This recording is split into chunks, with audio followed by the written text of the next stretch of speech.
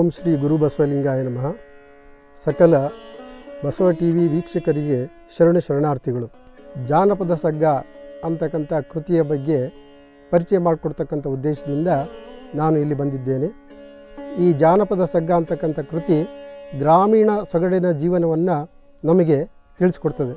ಅಂದರೆ ಅವರ ಚಟುವಟಿಕೆಗಳ ಬಗ್ಗೆ, ಅವರ ಜೀವನ ಕ್ರಮದ ಬಗ್ಗೆ ಈ ಒಂದು ಜಾನಪದ ಸಗ್ಗ ಕೃತಿ ತಿಳಿಸ್ಕೊಡ್ತದೆ. ಮಾನವನ ಒಂದು ಜೀವನ ಕ್ರಮ ಪ್ರಾರಂಭವಾಗಿದ್ದು, ಮೂಲತಃ ನದಿ ದಡಗಳಲ್ಲಿ ನೀರಿನ ಆಸರಗಳಲ್ಲಿ ಆರಂಭದಲ್ಲಿ ಮನುಷ್ಯ ಬೇಟೆಯಾಡ್ತಕ್ಕಂಥ ಜೀವನವನ್ನು ನಡೆಸ್ತಾ ಇದ್ದ, ಅಲೆಮಾರಿಯಾಗಿದ್ದ, ತದನಂತರದಲ್ಲಿ ಒಂದು ಕಡೆ ಸ್ಥಿರವಾಗಿ ನೆಲೆ ನಿಂತು ಕೃಷಿ ಜೀವನವನ್ನು ಪ್ರಾರಂಭಿಸಿದ. ಹೀಗೆ ಕೃಷಿ ಜೀವನವನ್ನು ಪ್ರಾರಂಭಿಸಿರ್ತಕ್ಕಂಥ ಮೂಲ ಕಾರಣಕರ್ತೆ ಯಾರಪ್ಪ ಅಂತ ಹೇಳಿದ್ರೆ, ಸ್ತ್ರೀ. ಸ್ತ್ರೀ ತನ್ನ ಬಿಡುವಿನ ವೇಳೆಯಲ್ಲಿ ತನ್ನ ನೆಲೆಯಲ್ಲಿ ಅಂಗಳದಲ್ಲಿ ಕೃಷಿ ಚಟುವಟಿಕೆಯನ್ನು ಪ್ರಾರಂಭಿಸಿದ್ಲು. ಹೀಗೆ ಕೃಷಿ ಚಟುವಟಿಕೆಯ ಮೂಲ ಸೃಷ್ಟಿಕರ್ತೆ ಅವಳು ಸ್ತ್ರೀಯಾಗಿದ್ಲು. ಈ ರೀತಿ ಪ್ರಾರಂಭವಾಗಿರ್ತಕ್ಕಂಥ ಕೃಷಿ ಚಟುವಟಿಕೆ ತದನಂತರದಲ್ಲಿ ವಿಸ್ತೃತವಾಗಿ ವ್ಯವಸಾಯ ವ್ಯವಸ್ಥೆ ಬಳಕೆಗೆ ಬಂತು. ಹೀಗೆ ವ್ಯವಸಾಯ ಈ ಮಾನವನ ಸಂಸ್ಕೃತಿ ರೂಪವಾಗಲಿಕ್ಕೆ ಕಾರಣವಾಗಿರ್ತಕ್ಕಂಥದ್ದಾಗಿತ್ತು. ವ್ಯವಸಾಯ ಜೊತೆಗೆ ಅವನು ಇತರೆ ಚಟುವಟಿಕೆಗಳನ್ನು ಕೂಡ ಪ್ರಾರಂಭಿಸಿದ. ಅಂದರೆ ಬೇರೆ ಬೇರೆ ವಸ್ತುಗಳನ್ನು ತಯಾರಿಸ್ತಕ್ಕಂಥದ್ದು, ತನ್ನ ಅನುಕೂಲಕ್ಕಾಗಿ.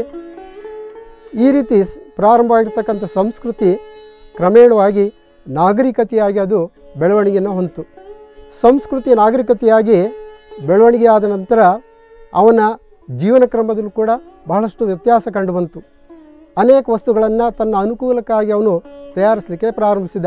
ಈ ಕೃಷಿಯ ಜೊತೆಗೆ ಅವನು ತನ್ನ ಜೀವನದ ಕ್ರಮವನ್ನು ಬಹಳಷ್ಟು ಬದಲಾವಣೆ ಮಾಡಿಕೊಂಡಿದ್ದು, ಸಂಸ್ಕೃತಿ, ನಾಗರಿಕತೆಯಾಗಿ ರೂಪುಗೊಂಡು ಮನುಷ್ಯ ತನ್ನ ಬಿಡುವಿನ ವೇಳೆಯಲ್ಲಿ ಆಸರ ಬೇಸರಗಳನ್ನು ಕಳೀಲಿಕ್ಕಾಗಿ ಬೇರೆ ಬೇರೆ ಆಟೋಟಗಳನ್ನು ಅಥವಾ ಚಟುವಟಿಕೆಗಳನ್ನು ಅವನು ರೂಢಿಸಿಕೊಂಡ.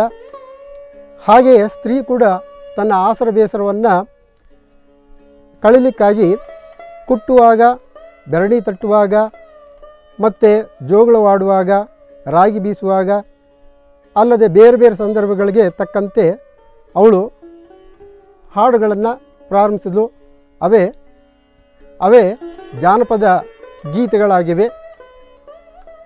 ಈ ಮಾನವನ ಚಟುವಟಿಕೆ ಅಥವಾ ಈ ಗ್ರಾಮೀಣ ಸೊಗಡಿನ ಒಂದು ಸಂಸ್ಕೃತಿಯನ್ನೇ ಜಾನಪದ ಜಗತ್ತು, ಜಾನಪದ ಲೋಕ, ಜಾನಪದ ಗೀತೆಗಳು ಅಂಥೇಳಿ ಕರೆಯಲಾಗಿದೆ.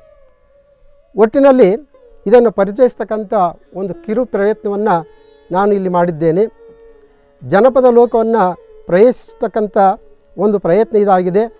ಪರಿಪೂರ್ಣವಾಗದೇ ಇದ್ದರೂ ಕೂಡ ಅದರ ಮೆಟ್ಟಿಲನ್ನು ಏರ್ತಕ್ಕಂಥ ಪ್ರಯತ್ನವನ್ನು ನಾನು ಇಲ್ಲಿ ಮಾಡಿದ್ದೇನೆ. ಇದರ ಮೂಲ ಉದ್ದೇಶ ಏನಪ್ಪ ಅಂತ ಹೇಳಿದ್ರೆ ಯುವಕರಿಗೆ ಈ ಜಾನಪದದ ಬಗ್ಗೆ ಪರಿಚಯಿಸ್ತಕ್ಕಂಥದ್ದು ಮೂಲ ಉದ್ದೇಶವಾಗಿದೆ. ಇದನ್ನು ಅವಕಾಶ ಕಲ್ಪಿಸಿಕೊಟ್ಟಿದ್ದು ಯಾರಪ್ಪ ಅಂತ ಹೇಳಿದ್ರೆ ಬಸವ ಟಿ ವಿಯವರು ಅವರಿಗೆ ನಾನು ಕೃತಜ್ಞತೆಯನ್ನು ಅರ್ಪಿಸ್ತಾ ಇದ್ದೇನೆ. ಜಾನಪದ ಸಾಹಿತ್ಯ ಅಥವಾ ಸಗ್ಗ, ಆಂಗ್ಲ ಮೂಲದ ಫೋಕ್ಲೋರ್ ಎಂಬ ಶಬ್ ಪದಕ್ಕೆ ಕನ್ನಡದಲ್ಲಿ ಜಾನಪದ ಎಂಬ ಪದವನ್ನು ಸಂವಾದಿಯಾಗಿ ಬಳಸುತ್ತೇವೆ. ಈ ಪದವನ್ನು ಮೊದಲು ಸಾಹಿತ್ಯ ಪ್ರಪಂಚಕ್ಕೆ ಪರಿಚಯಿಸಿದವರು ಅಂತ ಹೇಳಿದ್ರೆ ಡಾಕ್ಟರ್ ಡೆ ಜವರೇಗೌಡರು. ಡಾಕ್ಟರ್ ಎಚ್ ತಿಪ್ಪೇರುದ್ರ ಸ್ವಾಮಿಯವರು ಕೂಡ ಈ ಒಂದು ದಿಶೆಯಲ್ಲಿ ಶ್ರಮಿಸಿರುತ್ತಾರೆ. ಈ ಜಾನಪದ ಎಂಬ ಪದ ಕನ್ನಡ ಸಾರಸ್ವತ ಲೋಕಕ್ಕೆ ಹೊಸ ಪದವೇನಲ್ಲ. ಹಿಂದೆ ಅನೇಕ ಕಾವ್ಯಗಳಲ್ಲಿಯೂ ಶಾಸನಗಳಲ್ಲಿಯೂ ಬಳಕೆಯಾಗಿರುವುದನ್ನು ಕಾಣಬಹುದಾಗಿದೆ. ನಂಜುಣ್ಣ ಕವಿ ತನ್ನ ಕುಮಾರ ಸಾಂಗತ್ಯದಲ್ಲಿ ಕರ್ನಾಟಕ ಜನಪದವನ್ನು ಒಲಿದು ಬಣ್ಣಿಪೆನು ಎಂದು ತಿಳಿಸುವಲ್ಲಿ ಬಳಕೆಯಾದ ಈ ಪದದ ಅರ್ಥ ಕರ್ನಾಟಕ, ಕರ್ನಾಟಕದ ಜನಪದ ಅಂದರೆ ಸಂಸ್ಕೃತಿಯನ್ನು ಎಂಬ ಅರ್ಥದಲ್ಲಿಯೇ ಬಳಸಿದ್ದಾನೆ. ಇಂತಹ ಹಲವಾರು ನಿದರ್ಶನಗಳು ನಮ್ಮ ಕನ್ನಡ ಕಾವ್ಯಗಳಲ್ಲಿ ಲಭ್ಯವಾಗಿವೆ. ಜಾನಪದ ಎಂಬುದು ಒಂದು ಸಾಗರವಿದ್ದಂತೆ ಹಲವಾರು ನದಿಗಳು, ಕಾಲುವೆಗಳು ಬಂದು ಸೇರುವುದರಿಂದ ಸಾಗರ ಸೃಷ್ಟಿಯಾಗುತ್ತದೆ. ಅಂತೆಯೇ ಈ ಜಾನಪದ ಎಂಬುದರಲ್ಲಿಯೂ ಅನೇಕ ನದಿ, ಉಪನದಿ, ಕಾಲುವೆಗಳಿವೆ. ಅವುಗಳೆಂದರೆ ಜಾನಪದ ಗೀತೆ, ಜಾನಪದ ಕತೆ, ಜಾನಪದ ಒಗಟು, ಗಾದೆ, ಬೈಗುಳ, ದೇವರು, ದೇವತೆ, ಲೆಕ್ಕಾಚಾರ, ಜಾತ್ರೆ, ವಾದ್ಯಗಳು, ವೈದ್ಯ ಪದ್ಧತಿ, ವಿವಾಹ ಆಚರಣೆಗಳು ನಗಾ ನಾಣ್ಯಗಳು ಕಥನ ಗೀತೆಗಳು ಇತ್ಯಾದಿ ಪ್ರಾಕಾರಗಳು ಸೇರಿವೆ. ಇವೆಲ್ಲವೂ ಒಟ್ಟಿಗೆ ಜಾನಪದ ಎನಿಸಿವೆ. ಮೂಲತಃ ಅಕ್ಷರ ಸಾಹಿತ್ಯ ಪ್ರಪಂಚಕ್ಕೆ ಮೂಲ ಬೇರು ಇರುವುದೇ ಈ ಜನವಾಣಿಯಲ್ಲಿ, ಜಾನಪದದಲ್ಲಿ. ಅದಕ್ಕೆಂದೇ ಕವಿ ಬಿ ಎಂ ಶ್ರೀಯವರು ಜಾನಪದ ಸಾಹಿತ್ಯವನ್ನು ಕುರಿತಂತೆ ಜನವಾಣಿ ಬೇರು, ಕವಿವಾಣಿ ಹೂವು ಎಂದು ಅಭಿಪ್ರಾಯಪಟ್ಟಿದ್ದಾರೆ. ಅಂದ ಮೇಲೆ ಈ ಜನಪದ ಸಾಹಿತ್ಯದ ಉಗಮ ಎಂದಾಯಿತು ಎಂದರೆ ಮಾನವರ ಉಗಮ ಎಂದಾಯಿತೋ, ಅಂದೇ ಜಾನಪದ ಸಾಹಿತ್ಯದ ಉಗಮವು ಜೊತೆ ಜೊತೆಗೆ ನಡೆಯುತ್ತಾ ಬಂದಿದೆ.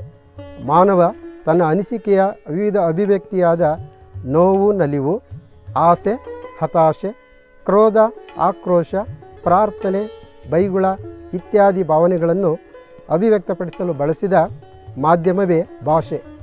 ಈ ಭಾಷೆ ಆತನ ಕಾಯಕದೊಂದಿಗೆ ಬೆಸೆದಾಗ, ಹೊಸದಾಗ ಶ್ರಮದ ಅಭಿವ್ಯಕ್ತಿಯಾಗಿ ಬಂದುದೇ ಈ ಜನಪದ ಸಾಹಿತ್ಯವಾಗಿದೆ. ಈ ಶ್ರಮದ ಅಭಿವ್ಯಕ್ತಿ ತಾಳ ಲಯಬದ್ಧವಾದಾಗ ಅದು ಗೀತ ಪ್ರಕಾರಕ್ಕೆ ಸೇರುತ್ತದೆ. ಈ ಕಾರಣಕ್ಕಾಗಿಯೇ ಜಾನಪದ ಗೀತೆಗಳಲ್ಲಿ ಸುಗ್ಗಿ ಗೀತೆ, ತವರಿನ ಗೀತೆ, ಅತ್ತೆ ಸೊಸೆಯರ ಗೀತೆ, ಗಂಡ ಹೆಂಡಿನ ಮೇಲಿನ ಗೀತೆ, ಬಂಜೆತನದ ಗೀತೆ, ಶಿಶು ಗೀತೆ, ಸಂಪ್ರದಾಯದ ಗೀತೆ, ಬೀಸೋ ಕಲ್ಲಿನ ಗೂತೆ ಗೀತೆ, ಕುಟ್ಟುವ ಕಲ್ಲಿನ ಗೀತೆ ಇತ್ಯಾದಿ. ಜಾನಪದ ಗೀತೆ ಪ್ರಾಕಾರದಲ್ಲಿಯೇ ಉಪ ಪ್ರಾಕಾರಗಳಿರುವುದನ್ನು ನಾವು ಗುರುತಿಸಬಹುದಾಗಿದೆ. ಇದೇ ರೀತಿಯಲ್ಲಿ ಮೇಲೆ ತಿಳಿಸಿದ ಜಾನಪದ ವಿವಿಧ ಪ್ರಾಕಾರಗಳಲ್ಲದೆ ಎಲ್ಲದರಲ್ಲೂ ಉಪ ಪ್ರಾಕಾರಗಳಿರುವುದನ್ನು ಕಾಣಬಹುದಾಗಿದೆ. ಇಂದು ಜನಪದ ಸಾಹಿತ್ಯ ವಿಶಾಲವಾಗಿ ಹರಡಿ ತನ್ನ ಬಿಳಲುಗಳನ್ನು ಆಳವಾಗಿ ವಿವಿಧ ಕಡೆ ಬೇರಿರುವುದನ್ನು ಗಮನಿಸಬಹುದಾಗಿದೆ.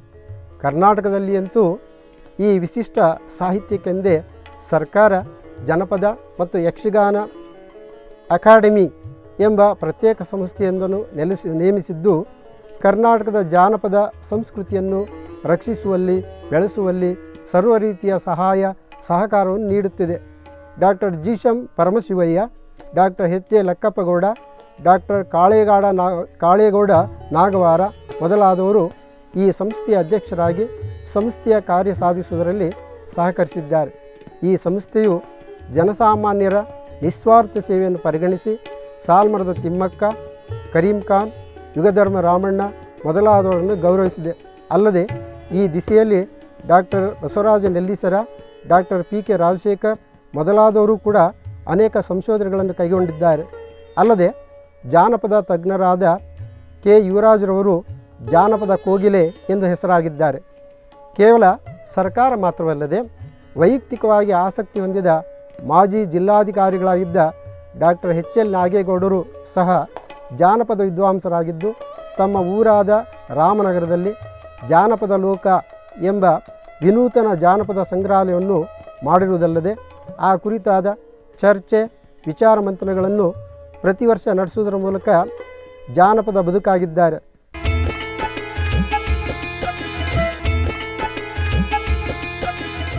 ನಮ್ಮ ಯುವಜನಾಂಗ ಇಂದು ಇಂತಹ ಅಮೂಲ್ಯವಾದ ತಮ್ಮ ಪಾರಂಪರಿಕ ಆಸ್ತಿಯಾದ ಈ ಜಾನಪದ ಸಾಹಿತ್ಯವನ್ನು ನಮ್ಮ ತೋಟ, ಗದ್ದೆ, ಮನೆ, ಹಣ, ಒಡವೆಯಂತಹ ಆಸ್ತಿ ಎಷ್ಟು ಜತನದಿಂದ ಜವಾಬ್ದಾರಿಯಿಂದ ಕಾಪಾಡಿ, ಉಳಿಸಿ, ಬೆಳೆಸಿ, ಮುಂದುವರಿಸಿಕೊಂಡು ಬರುತ್ತಾರೋ ಅಷ್ಟೇ ಪ್ರೀತಿಯಿಂದ ಜವಾಬ್ದಾರಿಯಿಂದ ಆಸಕ್ತಿಯಿಂದ ಈ ಜನಪದ ಸಾಹಿತ್ಯ, ಸಂಸ್ಕೃತಿ, ಸರಸ್ವತಿಯನ್ನು ಕಾಪಾಡಬೇಕಾದ ಗುರುತರ ಜವಾಬ್ದಾರಿ ನಮ್ಮ ಯುವ ಜನಾಂಗದ್ದಾಗಿದೆ. ಜಾನಪದವೆಂಬುದು ಹಿರಿಯರಿಂದ ಬಂದ ಬಳವಳಿಯಾಗಿದೆ. ಕನ್ನಡ ಸಾಹಿತ್ಯದ ಸಿರಿತನ ಸೊಗಡಿಗೆ ಸಾಕ್ಷಿಯಾಗಿದೆ ಜನಪದ ಕುರಿತೋದದೆಯು ಕಾವ್ಯ ಪ್ರಯೋಗ ಪರಿಣಿತಮತಿಗಳಾದ ಓದು ಬರಹವಿಲ್ಲದ ಗ್ರಾಮೀಣ ಪ್ರದೇಶದ ಮುಗ್ಧರು ತಮ್ಮ ಜೀವನಾನುಭವಗಳನ್ನು, ಹಾಡು, ಕತೆಗಳ ಮೂಲಕ ಹೇಳಿಕೊಂಡಿದ್ದಾರೆ. ಅವರ ಕಷ್ಟ ಸುಖ ಆಸರ, ಬೇಸರ, ಆನಂದ ವಿನೋದಗಳನ್ನು ಪದವಾಗಿಸಿದ್ದಾರೆ, ಕಥೆಯಾಗಿಸಿದ್ದಾರೆ. ಆ ಅನುಭವಗಳೇ ಮತ್ತೊಬ್ಬರ ಅನುಭವಗಳೇ ಆಗಿದ್ದಾವೆ, ಆಗಿರುವುದರಿಂದ ಅವು ಎಲ್ಲರಿಗೂ ಇಷ್ಟವಾಗಿ ಎಲ್ಲರ ಬಾಯಲ್ಲೂ ಹರಿದಾಡುವುದರಿಂದ ಅಂತಹ ಹಾಡು ಕವಿತೆಗಳು ಓದು ಬರಹ ಕಲಿತ ಪ್ರಾಜ್ಞರ ಪ್ರತಿಭೆಗೆ ಪೂರ್ಣವಾಗಿ ಪರಿಣಮಿಸಿವೆ. ಅವರು ರಚಿಸಿದ ಪುರಾಣ ಪುಣ್ಯಕಥೆಗಳೇ ಜನಪದ ಸಾಹಿತ್ಯ ಎನಿಸಿವೆ. ಇದು ಜನವಾಣಿಯಾಗಿದ್ದು, ಜನವಾಣಿ ಬೇರು ಕವಿವಾಣಿ ಹೂವು ಎಂಬ ಮಾತಿದೆ. ಜನವಾಣಿಯು ಬಾಯಿಂದ ಬಾಯಿಗೆ, ಕಿವಿಯಿಂದ ಕಿವಿಗೆ ಮುಟ್ಟಿ ಅದೊಂದು ಜನಪದ ಜ್ಞಾನಕೋಶವಾಗಿದೆ. ಅದರ ತಳಹದಿಯ ಮೇಲೆ ಸೃಜನಶೀಲ ಸಾಹಿತ್ಯ ಬೆಳೆದು ಬಂದಿದೆ. ಜನಪದ ಹಾಗೂ ಶಿಷ್ಟ ಸಾಹಿತ್ಯವು ಪರಿಣತ ಮತಿಗಳಿಂದ ಬೆಳೆದಿದೆ. ಅಲ್ಲದೆ ಕಿರಿಯರು ಕಿರಿಯರಿಗಾಗಿಯೇ ಹಾಡಿಕೊಂಡಿರುವ ಪದ್ಯ ಸಂಪತ್ತು ಹೊಂದಿದೆ. ಅದುವೇ ಶಿಶು ಸಾಹಿತ್ಯ. ಸಮಾಜ ಎಂದರೆ ಮಾನವರಿಂದ ಕೂಡಿದ ಸಮೂಹ, ಮಾನವರ ಸಾಮಾಜಿಕ ಸಂಬಂಧಗಳು ಬೆಳೆಯುವುದೇ ನಮ್ಮ ನಡವಳಿಕೆಗಳ ಮೂಲಕ. ಇಂತಹ ನಡವಳಿಕೆಗಳು ನಮ್ಮಲ್ಲಿ ರಕ್ತಗತವಾಗಿದ್ದು, ಅವನ್ನು ಜನಪದರು ಕಾವ್ಯ ಕಥೆಗಳ ಮೂಲಕ ಅದನ್ನು ವ್ಯಕ್ತಪಡಿಸಿದ್ದಾರೆ. ಸಾಮಾಜಿಕ ಮೌಲ್ಯಗಳು ಹೊರರೂಪದಲ್ಲಿ ಸ್ವಲ್ಪ ಮಟ್ಟಿಗೆ ಬದಲಾದರೂ ಸಂಬಂಧಗಳ ಮೂಲಕವಾಗಿ ಇನ್ನೂ ಉಳಿದುಕೊಂಡಿವೆ. ಇದಕ್ಕೆ ಕಾರಣ ನಮ್ಮ ಸಂಸ್ಕೃತಿಯೊಂದಿಗೆ ಹೊಂದಿಕೊಂಡಿರುವ ಜನಪದ ಸಾಹಿತ್ಯ ಗುಣ. ಜನ ಜನ ಜನರೊಡನೆ ನಾವು ಬೆರೆತು ಬೆಸೆದುಕೊಂಡು ಬಂದಿರುವ ಆಚಾರ, ವಿಚಾರ ನಡೆನುಡಿ ಸಂಪ್ರದಾಯ, ನಂಬಿಕೆ, ಹಬ್ಬ, ಪೂಜೆ, ದೇವರು ಇಂತಹ ಅಮೂರ್ತ ವಿಚಾರಗಳು ಅದರೊಂದಿಗೆ ತಾಯಿ ತಂದೆ, ಅಣ್ಣ ತಂಗಿ, ಅಜ್ಜ, ಅಜ್ಜಿ, ಅಕ್ಕ ಭಾವ ಮಕ್ಕಳು, ಮೊಮ್ಮಕ್ಕಳು, ನೆಲ, ಜಲ ಇತ್ಯಾದಿ ಪ್ರಕೃತಿಯ ಚಿರಚೇತನಾಚೇತನಗಳಲ್ಲಿ ಮಾನವೀಯ ಮೌಲ್ಯಗಳನ್ನು ಕಾಣುವ ಸಮಾಜ ನಮ್ಮದು. ಆ ಗುಣಗಳನ್ನೇ ಜನಪದರು ತಮ್ಮ ಕೆಲವು ವಿಚಾರಗಳಲ್ಲಿ ತಿಳಿಸಿದ್ದಾರೆ. ಜನಪದರು ಕಾವ್ಯಕಥೆಗಳ ಮೂಲಕ ಅದನ್ನು ವ್ಯಕ್ತಪಡಿಸಿದ್ದಾರೆ. ಸಾಮಾಜಿಕ ಮೌಲ್ಯಗಳು ಹೊರರೂಪದಲ್ಲಿ ಸ್ವಲ್ಪ ಮಟ್ಟಿಗೆ ಬದಲಾದರೂ ಸಾಮಾಜಿಕ ಮೌಲ್ಯಗಳು ಪರರೂಪದಲ್ಲಿ ಸ್ವಲ್ಪ ಮಟ್ಟಿಗೆ ಬದಲಾದರೂ ಸಂಬಂಧಗಳ ಮೂಲಕವಾಗಿ ಇನ್ನೂ ಉಳಿದುಕೊಂಡಿವೆ. ಇದಕ್ಕೆ ಕಾರಣ ನಮ್ಮ ಸಂಸ್ಕೃತಿಯೊಂದಿಗೆ ಹೊಂದಿಕೊಂಡಿರುವ ಜನಪದ ಸಾಹಿತ್ಯ ಗುಣ.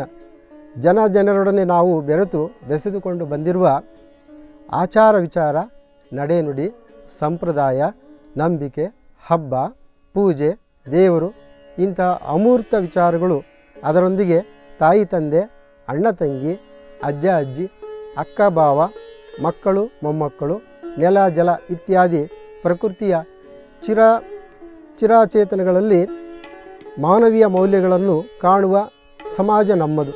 ಆ ಗುಣಗಳನ್ನೇ ಜನಪದರು ತಮ್ಮ ಕೆಲವು ವಿಚಾರಗಳಲ್ಲಿ ತಿಳಿಸಿದ್ದಾರೆ. ಅವರೇನು ಬರೆಯಬೇಕೆಂದು ಬರೆದವರಲ್ಲ. ಕೇವಲ ಆತ್ಮಸಂತೋಷಕ್ಕಾಗಿ ಹೇಳಿಕೊಂಡು ಹಾಡಿಕೊಂಡರು.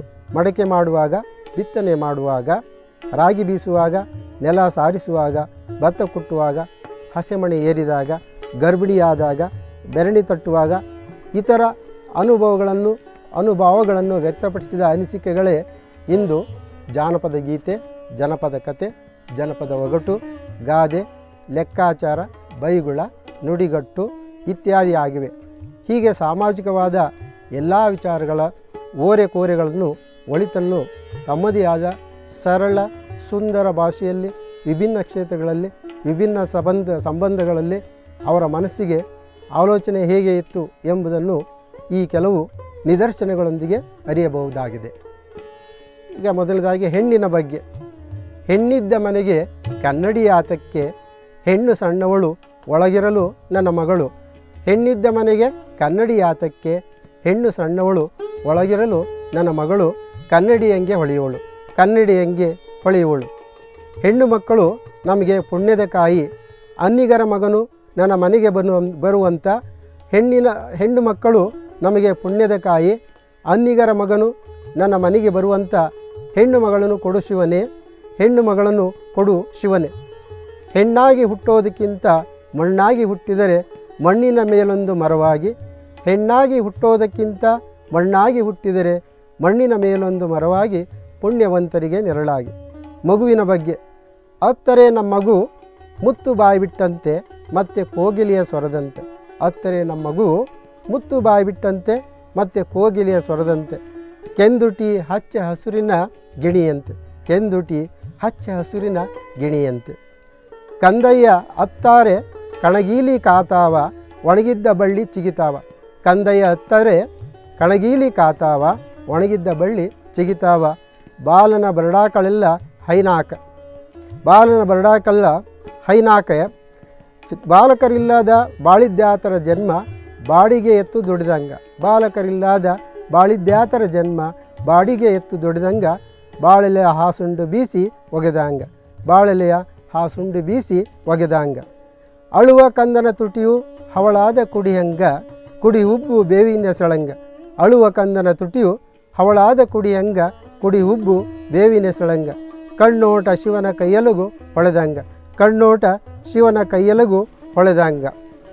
ಕೂಸಿದ್ದ ಮನೆಯಲ್ಲಿ ಅತ್ತರೆ ಅಳಲವ್ವ ಈ ಕೂಸು ನನಗಿರಲಿ, ಕೆಟ್ಟರೆ ಕೆಡಲಿ ಮನೆಗೆಲಸ ಅತ್ತರೆ ಅಳಲವ್ವ ಈ ಕೂಸು ನನಗಿರಲಿ, ಕೆಟ್ಟರೆ ಕೆಡಲಿ ಮನೆಗೆಲಸ ನನ್ನ ಕಂದ ಸುಖದ ನಿದ್ರೆ ಮಾಡಲಿ ನನ್ನ ಕಂದ ಸುಖದ ನಿದ್ರೆ ಮಾಡಲಿ.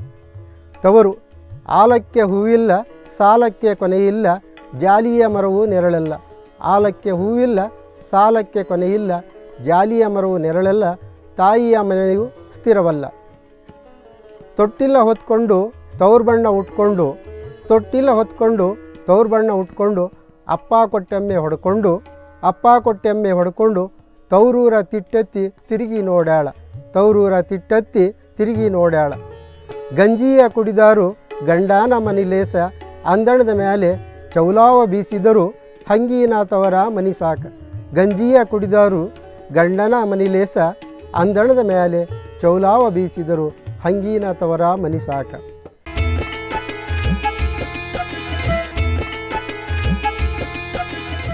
ಹೆಣ್ಣಿಗೆ ತವರಿನವರ ಬುದ್ಧಿವಾದ. ಅತ್ತೆಯ ಮನೆಯಲ್ಲಿ ಮುತ್ತಾಗಿ ಇರಬೇಕು, ಹೊತ್ತಾಗಿ ನೀಡಿದರೂ ಉಣಬೇಕು. ಅತ್ತೆಯ ಮನೆಯಲ್ಲಿ ಮುತ್ತಾಗಿ ಇರಬೇಕು, ಹೊತ್ತಾಗಿ ನೀಡಿದರೂ ಉಣಬೇಕು. ತೌರಿಗೆ ಹೆಸರ ತರಬೇಕು, ತೌರಿಗೆ ಹೆಸರ ತರಬೇಕು. ನೆರೆಮನೆಯ ಸಿರಿದೇವಿ, ನೀನಾಗು ಮಗಳೇ, ಮನೆಯಾಗೆ ಭೇದ ಬಗಿಬೇಡ. ನೆರೆಮನೆಯ ಸಿರಿದೇವಿ, ನೀನಾಗು ಮಗಳೇ, ಮನೆಯಾಗೆ ಭೇದ ಬಗಿಬೇಡ. ತುಂಬಿದ ಮನೆಯ ಒಡಿಬೇಡ, ತುಂಬಿದ ಮನೆಯ ಒಡಿಬೇಡ. ಹೆಣ್ಣಿನ ಆಸೆ. ಪಂಚಮಿ ಹಬ್ಬ ಉಳಿದಾವ ನಾಲ್ಕು ದಿನ, ಪಂಚಮಿ ಹಬ್ಬ ಉಳಿದಾವ ನಾಲ್ಕು ದಿನ. ಅಣ್ಣ ಯಾಕೋ ಬರಲಿಲ್ಲ ಕರಿಯಾಕ, ಅಣ್ಣ ಯಾಕೋ ಬರಲಿಲ್ಲ ಕರಿಯಾಕ. ದಾನಗುಣ. ಜೋಗಿ ಜಂಗಮರೆ ಹೋಗಿ ಸಣ್ಣಕ್ಕಿ ದಾನ ಕೊಡುತ್ತಾರೆ. ಜೋಗಿ ಜಂಗಮರೆ ಹೋಗಿ ನನ್ನ ತವರಿಗೆ ಸಣ್ಣಕ್ಕಿ ದಾನ ಕೊಡುತ್ತಾರೆ. ಹೊನ್ನೀನ ದಾನ ಕೊಡುತ್ತಾರೆ. ಹೊನ್ನೀನ ದಾನ ಕೊಡುತ್ತಾರೆ. ಆರೋಗ್ಯವಂತ ಸಮಾಜಕ್ಕೆ ಬೇಕಾದ ಗಂಡು ಹೆಣ್ಣಿನ ಸೌಹಾರ್ದ ಸಂಬಂಧ. ಊರ ಮುಂದೆ ತೋಟ ಮಾಡೋ ನನ್ನ ಚೆಲುವೆ. ನಾ ನಿನ್ನೆ ನೋಡ್ತಾ ನೀರ ತರ್ತೀನಿ ನನ್ನ ಚೆಲುವೆ. ಊರ ಮುಂದೆ ತೋಟ ಮಾಡಿದ್ರೆ ನನ್ನ ಚೆಲುವೆ, ನಾ ನಿನ್ನ ನೋಡ್ತಾ ಸಸಿಯ ನಡುವೆ ನನ್ನ ಚೆಲುವೆ. ಊರ ಮುಂದೆ ತೋಟ ಮಾಡಿದರೆ ನನ್ನ ಚೆಲುವೆ, ನಾ ನಿನ್ನ ನೋಡ್ತಾ ಸಸಿಯ ನಡುವೆ ನನ್ನ ಚೆಲುವೆ. ಜಾನಪದ ಗೀತೆಗಳಲ್ಲಿ ಮಹಾಕಾವ್ಯಗಳ ಮಾಹಿತಿ, ಅಣ್ಣ ತಮ್ಮರು ಬೇಕು ಹೆಣ್ಣಿನ ಜನ್ಮಕ್ಕೆ, ಅಣ್ಣ ತಮ್ಮರು ಬೇಕು ಹೆಣ್ಣಿನ ಜನ್ಮಕ್ಕೆ, ಬೆನ್ನ ಕಟ್ಟುವರು ಸಭೆಯೊಳಗೆ, ಬೆನ್ನ ಕಟ್ಟುವರು ಸಭೆಯೊಳಗೆ, ಹೊನ್ನ ಕಟ್ಟುವರು ಉಡಿಯೊಳಗೆ. ಜನಕರಾಜನ ಮಗಳು ಒನಕೆ ತೊಟ್ಟಿಲ ಕಟ್ಟಿ ಲವಕುಶರ ತೂಗ್ಯಾಳ. ಜನಕರಾಜನ ಮಗಳು ಒನಕೆ ತೊಟ್ಟಿಲ ಕಟ್ಟಿ ಲವಕುಶರ ತೂಗ್ಯಾಳ.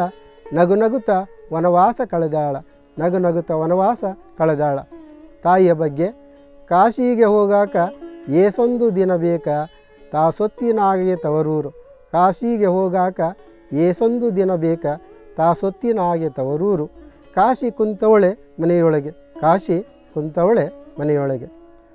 ತವರೂರ ಮನೆ ನೋಡ ಬಂದೆ, ತಾಯಿ ನೆನಪಾಗಿ ಕಣ್ಣೀರ ತಂದೆ.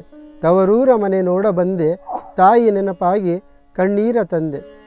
ಬ್ಯಾಸಾಗಿ ದಿವಸಾಕೆ ಬೇವಿನ ಮರತಂಪ ಭೀಮಾರತಿ ಎಂಬ ಹೊಳಿತಂಪ ಬ್ಯಾಸಾಗಿ ದಿವಸಾಕೆ ಬೇವಿನ ಮರತಂಪ ಭೀಮಾರತಿ ಎಂಬ ಹೊಳಿತಂಪ ಹಡದವ್ವ ನೀ ತಂಪ ನನ್ನ ತವರಿಗೆ. ಹಡದವ್ವ ನೀ ತಂಪ ನನ್ನ ತವರಿಗೆ. ಬರಗಾಲದ ಬಗ್ಗೆ, ಅತಿವೃಷ್ಟಿಯ ಬಗ್ಗೆ, ಬಣ್ಣದ ಗುಬ್ಬ್ಯಾರು ಮಳೆರಾಯ, ಅವರು ಮಣ್ಣಾಗಿ ಹೋದರು ಮಳೆರಾಯ. ಬಣ್ಣದ ಗುಬ್ಬ್ಯಾರು ಮಳೆರಾಯ, ಅವರು ಮಣ್ಣಾಗಿ ಹೋದರು ಮಳೆರಾಯ. ಬರಗಾಲದ ದಿನ ಬಂತು ಮಳೆರಾಯ, ಬರಗಾಲದ ದಿನ ಬಂತು ಮಳೆರಾಯ. ಯಾತಕ್ಕೆ ಹೋದಾವೋ ಮಳೆ ಹೋದಾವೋ ಶಿವಶಿವ ಶಿವ, ಯಾತಕ್ಕೆ ಮಳೆ ಹೋದಾವೋ ಶಿವಶಿವ ಶಿವ. ಕರುಣೆ ಬಂದರೆ ಕಾಯೋ ಮರಣ ಬಂದರೆ ಒಯ್ಯೋ, ಕರುಣೆ ಬಂದರೆ ಕಾಯೋ ಮರಣ ಬಂದರೆ ಒಯ್ಯೋ ಕರುಣೆ ಕಲ್ಯಾಣ ಶರಣರ ನೆನೆದರೆ ಮಾಡಿದ್ದ ಪಾಪ ಪರಿಹಾರ. ಕರುಣೆ ಕಲ್ಯಾಣ ಶರಣರ ನೆನೆದರೆ ಮಾಡಿದ್ದ ಪಾಪ ಪರಿಹಾರ. ಸ್ವರಚಿತ ಗೀಗಿ ಪದ ಬಸವಣ್ಣ.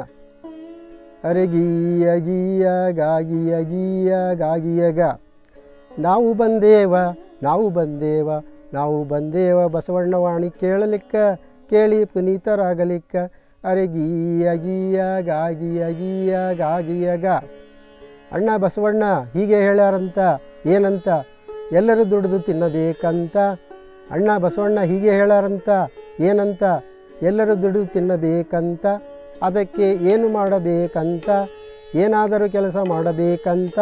ಏನಾದರೂ ಕೆಲಸ ಮಾಡಬೇಕಂತ? ಅಣ್ಣ ಬಸವಣ್ಣ ಹೀಗೆ ಹೇಳಾರಂತ ಏನಂತ?